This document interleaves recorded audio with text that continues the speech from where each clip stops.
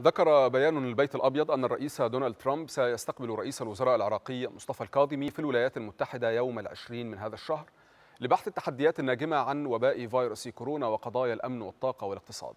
فيما قال بيان البيت الأبيض أن هذه الزيارة تأتي في مرحلة حاسمة للولايات المتحدة والعراق بينما يواصل التعاون من أجل دحر تنظيم داعش الإرهابي بشكل دائم ومواجهة التحديات الناجمة عن انتشار فيروس كورونا المستجد. أضاف بيان البيت الأبيض أن الولايات المتحدة والعراق باعتبارهما شريكين مقربين يتطلعان إلى توسيع العلاقات بينهما. أوضح أنها الطرفين سيناقشان التعاون في مجالات الأمن والصحة والطاقة. عبر الهاتف من بغداد ينضم إلينا الدكتور معتز محيي مدير المركز الجمهوري للدراسات الأمنية والاستراتيجية. دكتور معتز أهلا وسهلا بحضرتك. ما هي الورقة التي قد يقدمها رئيس الوزراء العراقي مصطفى الكاظمي إلى الرئيس دونالد ترامب أو التي سيطلبها منه بالاحرى أه تحياتي لك الإخوة الأعزاء المشاهدين. الحقيقة يعني الورقة التي سوف يتباحث بها مع وزير الخارجية الأمريكي وسيد ترامب تتعلق بموضوع مهم جدا هو جدولة خروج القوات الأمريكية من العراق كما طالب بها عضو أعضاء البرلمان أكثر من مرة الحكومة العراقية السابقة والحالية، كذلك هذه المباحثات تجرى على شكل دوري كل شهر الشهر الماضي جرت في بغداد والآن على مستوى رئيس الوزراء تجرى في واشنطن. المؤمل من ذلك الحوار أن تكون جدولة لخروج القوات الأمريكية أو بقائها في مناطق محددة كما أشارت لها تقارير أمريكية وعراقية سابقة وكذلك موضوع التدريب والتسليح للقوات العراقية لأن القوات العراقية كما تعرف هي مرتبطة باستراتيجية أمريكية وقع عليها الجانبين في حكومة المالكي.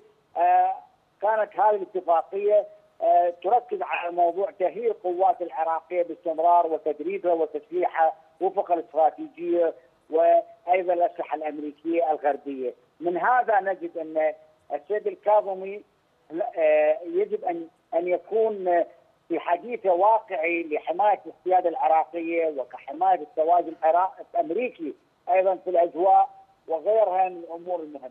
دكتور معتز رئيس الوزراء العراقي دعا لانتخابات في السادس من شهر يونيو من العام المقبل أقل من عام أو نحو عشرة أشهر. هل سيؤثر هذا المدى القصير الذي سيمكثه رئيسا للوزراء في طبيعة الطلبات أو في أشكال التنسيق مع الولايات المتحدة؟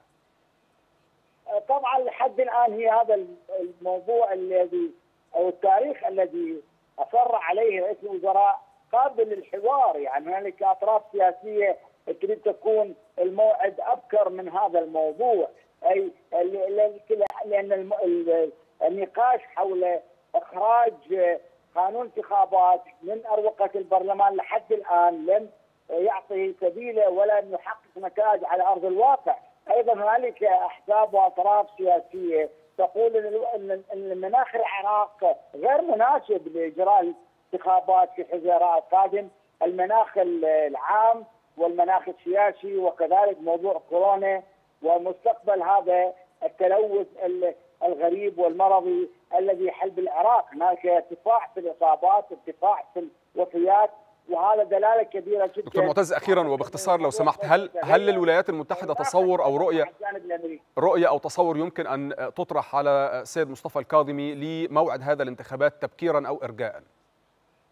أعتقد جدا سوف يناقش هذا الموضوع لأن الجانب الأمريكي هو طرف آه غير منظور في موضوع آه مساعدة العراقيين في موضوع آه إحلال أو أو حل البرلمان العراقي وأيضا اخراجا من هذه المحنة السياسية وكذلك وضع قيود جديدة إلى نعم. موضوع عودة الأحزاب القادمه التي رفضها الشارع والقيادات السياسية الأخرى وكذلك موضوع لا ننسى كذلك موضوع أيضا الاستثمارات الأمريكية. خصوصا في مجال الطاقة الكهربائية.